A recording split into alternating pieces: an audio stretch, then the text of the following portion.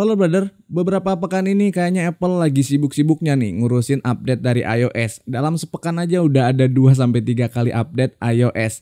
Dan ya kali ini update yang terakhir yang dikasih sama si Apple adalah iOS 17.0.3 Di mana update kali ini size-nya nggak terlampau gede, cukup kecil, sekitar 350 megabytean untuk iPhone 12 mini punya gua ini. Dan seperti biasa, untuk update kali ini memang bervariasi tergantung dengan jenis atau tipe iPhone-nya.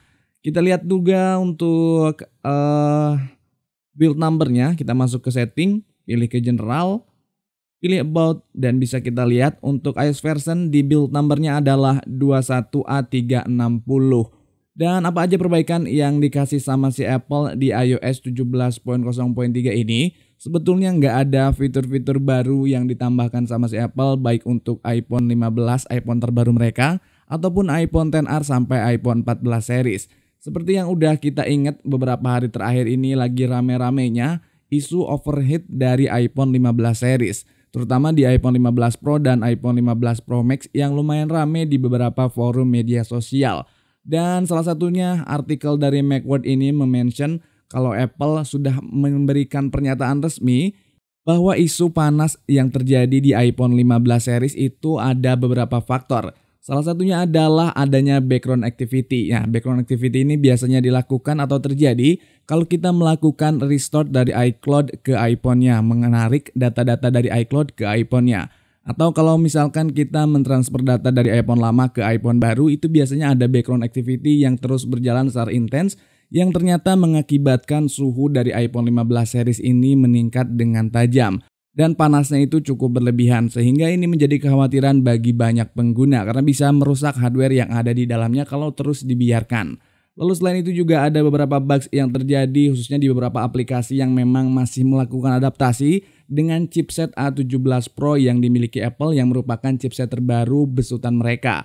Salah satunya adalah aplikasi-aplikasi di sini Apple mention yaitu kayak Instagram, terus juga ada Uber dan juga game Alspat 9 yang menjadi faktor penyebab dari overheat yang terjadi di iPhone 15 series. Dan dengan cepat Apple langsung melakukan upgrade-upgrade, melakukan perubahan-perubahan patch di iOS 17 sehingga dirilislah iOS 17.0.3 ini.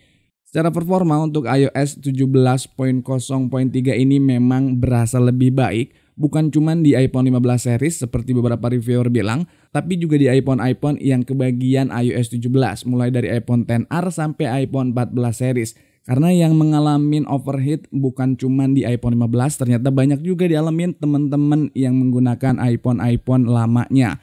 Misalkan ada iPhone 14 series, ada juga iPhone 12 series, iPhone 11 series, dan sebagainya.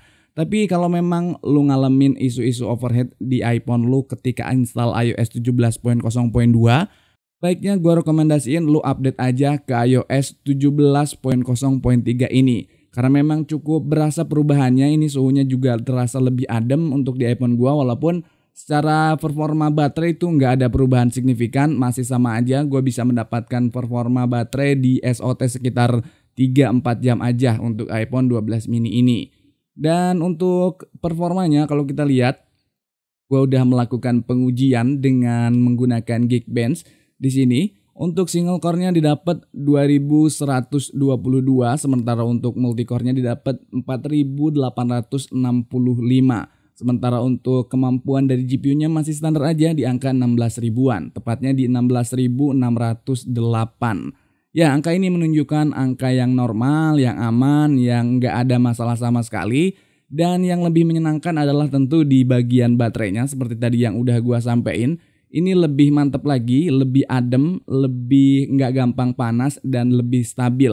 Ini merupakan hal yang harus kita apresiasi dengan effort si Apple berkali-kali terus melakukan update dalam beberapa minggu terakhir ini atau dalam sepekan terakhir ini sehingga bisa menemukan solusi dari overheat yang dialamin oleh iPhone-iPhone khususnya di iPhone 15 series dan juga iPhone-iPhone lama yang sebelumnya sudah dirilis sama si Apple. Ya ini merupakan sebuah service yang cukup oke okay sih dari si Apple kita harus mengapresiasi kinerja dan perbaikan-perbaikan yang terus dilakukan Apple mengurus device-device yang sudah mereka jual. Terutama iPhone 15 ya, karena mungkin mereka khawatir nanti bisa nggak laku kalau dibiarkan begitu aja. Ya memang salah satu yang paling oke okay dari Apple adalah bagaimana mereka merespon isu-isu yang terjadi di sistem mereka. Karena memang iOS adalah bikinan mereka dan juga handphonenya juga bikinan langsung mereka. Jadi lebih gampang untuk melakukan adjusting. Dan lo kalau udah update jangan lupa lakukan for restart. Caranya tinggal tekan power atas, tekan power bawah, tahan dan tekan tombol volume sampai handphonenya benar-benar mati. Kita tunggu. Tetap ditahan tombol volumenya sampai handphonenya nanti nyala lagi ya. Kalau udah muncul logo Apple dilepas aja tombol powernya. Ini adalah proses force restart untuk merefresh dan untuk melakukan adaptasi dengan iOS yang baru yang udah kita install. Oke sudah selesai, tinggal kita masuk aja ke iPhone-nya ke bagian home dan jangan lupa juga masuk ke App Store. Terus kita coba cek juga beberapa aplikasi barangkali ada update di sini.